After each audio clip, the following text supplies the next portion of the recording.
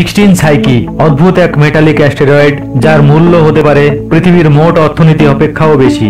পৃথিবীর মোট অর্থনীতির পরিমাণ প্রায় আশি ট্রিলিয়ন ইউএস ডলার আর সিক্সটিন সাইকি গ্রহাণুতে যে সম্পদ রয়েছে, তার মূল্য প্রায় দশ হাজার কোয়াড্রিলিয়ন ডলার এক কোয়াড্রিলিয়ন ডলারের অর্থ হল এক হাজার ট্রিলিয়ন ডলার সুতরাং ট্রিলিয়ন ডলারে গ্রহাণুটির মূল্য এক কোটি ট্রিলিয়ন ডলার যা পৃথিবীর মোট অর্থনীতির এক লক্ষ পঁচিশ হাজার গুণ। আঠারোশো সালের সতেরোই মার্চ ইটালির জ্যোতির্বিজ্ঞানী অ্যানিবালে ডি গাসপারিস এই সাইকি গ্রহাণুটির সন্ধান পান।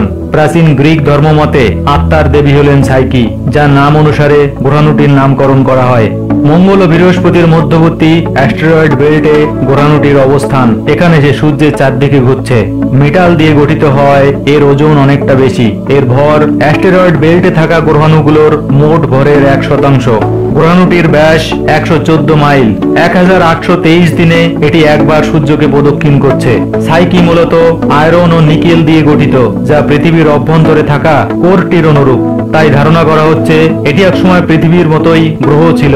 মহাজাগতিক কোনো ভয়াবহ সংঘর্ষ বা অন্য কোনো কারণে কোরটি বাদে বাকি অংশ হারিয়ে গিয়েছে। অথবা সৌরজগতের শুরুর দিকে এটিও গ্রহ সৃষ্টির কাছাকাছি পৌঁছেছিল।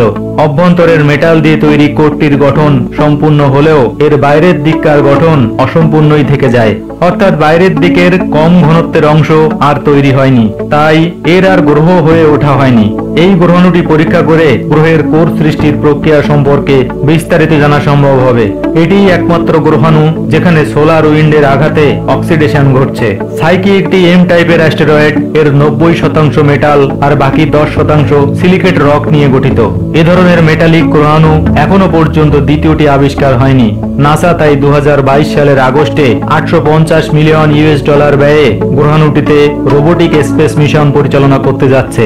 একটি অরবিটার দূর থেকে গ্রহাণুটির যাবতীয় তথ্য ও ছবি তুলে আনবে।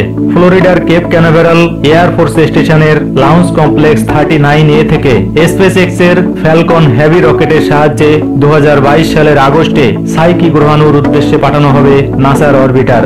এদিন একই রকেটে চেপে ভিন্ন দুটি মহাকাশ যান অন্য দুটি গন্তব্যে পাঠানো হবে। একটি ক্যালিফোর্নিয়া বিশ্ববিদ্যালয়ের মঙ্গলের বায়ুমণ্ডল পর্যবেক্ষণকারী ডাইনামিক এক্সপ্লোরার বা এসকাপেট আর অন্যটি কলোরাডো বিশ্ববিদ্যালয়ের বাইনারি অ্যাস্টেরয়েড পর্যবেক্ষণকারী জেনা স্যাটেলাইট। সাইকি অরবিটারটি উৎক্ষেপণের পর দু হাজার তেইশ সালে পৌঁছাবে মঙ্গলের কাছে। মঙ্গলে একবার গ্রাভিটি অ্যাসিস্ট ফ্লাইবাইয়ের পর দু সালের একত্রিশ জানুয়ারি এটি পৌঁছাবে সাইকি গ্রহাণুতে। একুশ মাস অরবিটারটি গ্রহাণুর চারপাশ ঘুরে সংগ্রহ করবে নানা তথ্য ও ছবি। সাইকি মিশনটি পরিচালিত হচ্ছে অ্যারিজোনা স্টেট ইউনিভার্সিটির নেতৃত্বে। আর মিশনের সিস্টেম ইঞ্জিনিয়ারিং ও টেস্টিং এর দায়িত্বে রয়েছে নাসার জেট প্রপালশন ল্যাবরেটরি।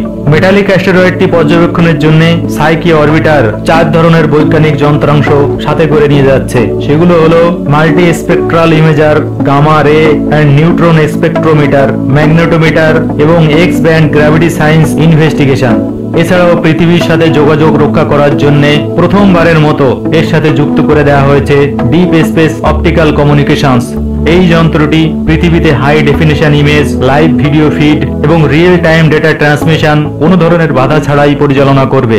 বর্তমান মহাকাশ অভিযানে যোগাযোগের জন্য রেডিও ওয়েভ মেথড ব্যবহার করা হয়।